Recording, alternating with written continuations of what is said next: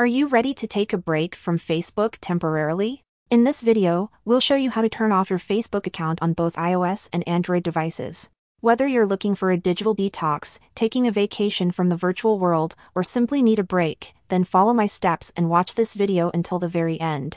It's pretty simple, and the first thing that we'll do is to open the Facebook mobile app on our device and make sure you are logged into the account which you want to turn off. We'll have to go over to the settings page, and we'll do that by tapping the menu button in the bottom right corner, and then tap on this little gear icon at the top right. That's gonna open our Facebook account settings, and at the very top of your screen is this option called Meta Account Center so tap anywhere on this section to open it. This is going to open the settings for our Facebook or Instagram profiles, but let's proceed to turning off our Facebook account temporarily. We'll open this personal details section, and then tap on the account ownership and control option. Deactivation or deletion. You'll see this page where they'll give us all of our Facebook and Instagram accounts that we have on this device, and you want to select an account which you want to turn off or deactivate temporarily. I'll select my App Tutor Facebook profile and then we'll get here. They'll ask us if we want to deactivate or delete our Facebook account. If we deactivate our account, it will be hidden from all of our friends and family members and no one will be able to message us when our account is deactivated.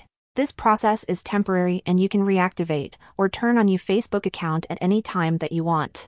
If you want to delete your account, that is permanent and you won't be able to get your account back.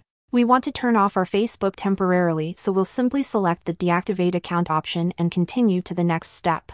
They'll then ask us to enter our Facebook account password so that they can verify that it's us, so just enter your password and go to the next step. One of the last steps that you have to do is to select any reason from this list on why you are deactivating your Facebook account, and I'll select this option right here. And the last step is to tap on the deactivate account button right here. As I said, your Facebook account will be turned off and hidden from everyone that follows you on the platform, no one will be able to message you and all that other stuff.